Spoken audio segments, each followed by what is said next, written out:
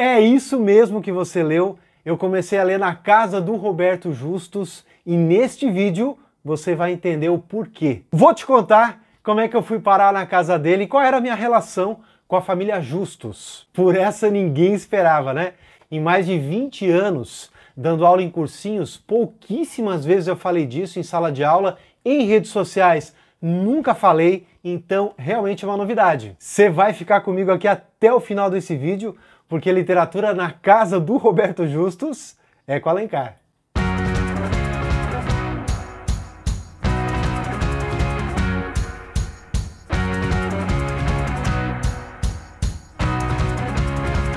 Eu sou o professor Alencar Schuroff e além da experiência em sala de aula, eu fiz também doutorado em literatura. Então vocês devem imaginar como esse primeiro contato com as palavras, com a leitura, foi algo muito marcante, determinante na minha vida. Foi na verdade aí um divisor de águas. Você está percebendo que aqui no meu canal, até agora eu trouxe muito conteúdo, mas hoje eu vou falar um pouco mais de mim. Bora? Eu tive uma infância bem movimentada, para falar a verdade. Nasci em Rio Fortuna, uma cidade bem pequenininha, no sul de Santa Catarina, tem em torno de 5 mil habitantes, só que ainda bebê eu fui embora para São Paulo. Olha só, olha o contraste, olha o baque. Na verdade, os meus pais já trabalhavam lá né, em São Paulo antes de eu nascer. Para vocês terem uma ideia, meus pais tinham morado na casa da Nice, a primeira esposa do Roberto Carlos. O casal famoso aí já era separado. Na época, meu pai era motorista, minha mãe uma espécie de governanta. Uma pena que tenham ficado poucas fotos daquele tempo. É que a foto também, né, gente, não era uma coisa tão banal como é hoje. Sabe que a gente fala bastante dos retirantes nordestinos que começaram a ir para São Paulo no século passado. Só que aqui do sul do país, aqui de Santa Catarina, também muita gente foi, especialmente nos anos 70. Lá na minha região, no sul do estado, eu conheço vários casais, parentes, amigos, que foram para lá trabalhar na casa de gente muito rica, muitas vezes famosa também, e trabalhavam como né, copeiros, passadeiras, motoristas, governantas, caseiros e assim por diante. Aí minha mãe engravidou em São Paulo, voltaram para cá, para o sul, porque aí tinham ajuda também das avós que moravam aqui, e depois nós retornamos para a metrópole. Cara, uma muvuca. Depois, quando eu tinha em torno de três aninhos, os meus pais começaram a trabalhar numa casa que não aceitava crianças. Aí precisei passar um tempo com a minha avó, que morava num sítio bem pequenininho, no interior de Rio Fortuna. Então você imagina, era o interior do interior. Era um sítio pequenininho, simples, mas muito bonito, muito aconchegante. Então você imagina, né? Eu saio lá de prédios de cimento para viver entre plantações, gado. A minha melhor amiga, para vocês terem uma ideia, era uma vaca. Eu lembro dela muito bem até hoje. Tá acompanhando? Tá entendendo aí a minha vida? E depois, obviamente, fui morar de novo com os meus pais em SP, como dizem, e um belo dia nós fomos parar onde? Na casa dele, do Roberto Justus.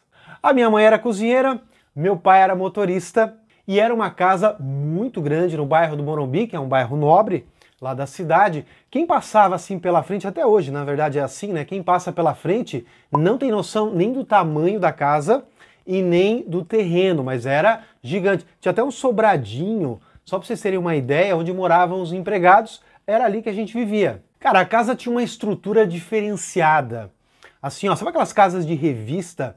Era um conceito aberto, tinha uma sala de estar assim que era gigantesca conjugada com uma sala de televisão, formava um L, e aí você tinha uma parede assim de vidro que dava uma piscina muito bonita e um campo de futebol. Você imagina o que é ter um campo de futebol dentro do Morumbi? E eu lembro muito bem, modéstia à parte, gente, eu tenho uma memória que é incrível. Eu lembro de cada coisa, assim, ó.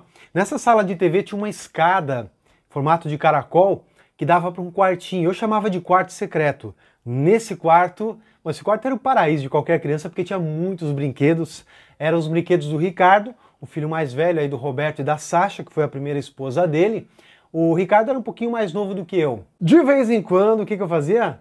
Dava uma invadida, entrava, brincava um pouquinho, especialmente quando a família estava viajando. Meus pais também diziam: não, pode brincar, mas cuidado, não vai quebrar nada e tal. Era muito bonequinho, era muito carrinho, era casa, era castelo. Cara, era um paraíso, assim, né? Na época, a irmã do Ricardo não tinha nascido ainda. Acho que ela estava prestes a nascer. a Fabiana. Dá uma olhada só nessa foto aqui, ó, do meu pai com ela. Essa foto foi tirada no campo de futebol ali que eu falei para vocês. Hoje em dia, essa casa maravilhosa não pertence mais à família. Ela foi vendida para o consulado da República Tcheca. Olha só. E que coincidência, eu sou descendente de tchecos por parte materna. Meu bisavô veio de lá. Eu posso dizer para vocês que eu tenho ótimas recordações deles, eles eram muito carinhosos comigo. Eu lembro que uma vez o Roberto me deu uma camiseta regata azul que tinha o meu nome estampado. Eram assim, letras em alto relevo, meio brilhantes. Cara, eu achava aquilo fantástico. E eu lembro de ficar olhando ele falar, eu admirava bastante a comunicação dele. Será que por isso hoje eu também trabalho com comunicação? Será que ficou lá no meu subconsciente? Vai saber. Na real, na época ele era publicitário. O Roberto ele foi publicitário quase toda a vida dele. Hoje em dia que ele trabalha mais com investimentos, na verdade. E a publicidade tem tudo a ver com periódicos, jornais, revistas.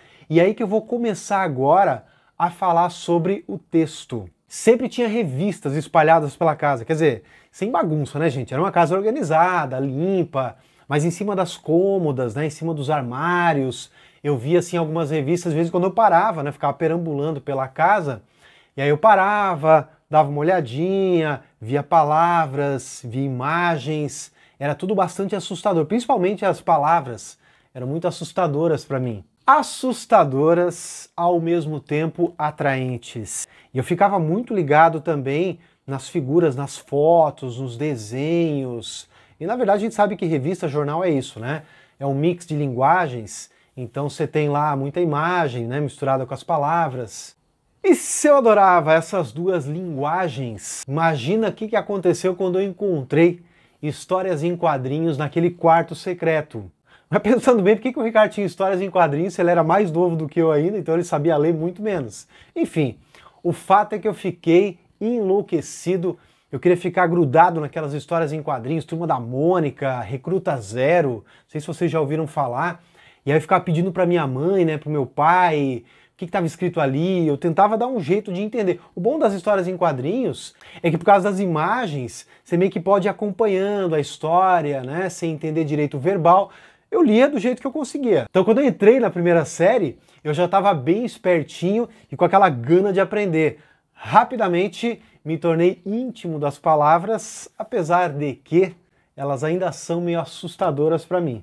A minha escola era pública, chamava Aristides de Castro, ficava lá no Itaim. Fica, ela existe ainda, não faz muitos anos eu fui para São Paulo e dei uma passadinha lá, até achei meu nome nos arquivos. Não sei se vocês sabem, mas eu sou fruto do ensino público, estudei a minha vida inteira em escolas estaduais. Quando eu tinha oito anos, aí nós viemos para Santa Catarina para morar em Joinville.